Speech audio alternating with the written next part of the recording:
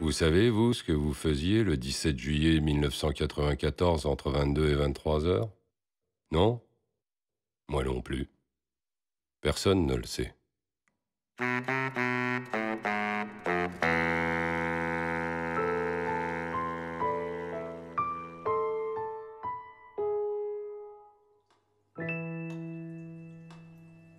Il m'a fallu des années pour remonter jusqu'à toi. hein.